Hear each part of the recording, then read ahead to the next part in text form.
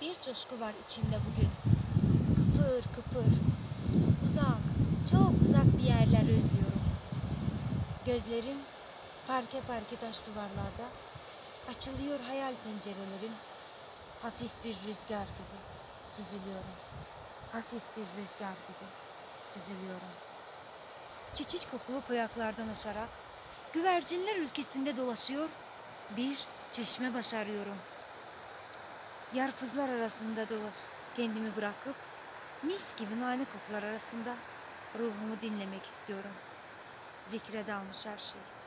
Güne gülümserken papatyalar. Dualar gibi yükselir ümitlerim. Güneşle kol kola kırlarda koşarak siz peygamber çiçekleri toplarken ben çeşme başında uzanmak istiyorum. Huzur dolu içimde ben sonsuzluğu düşünüyorum. Ey sonsuzluğun sahibi sana ulaşmak istiyorum. Durun kapanmayın pencerelerim.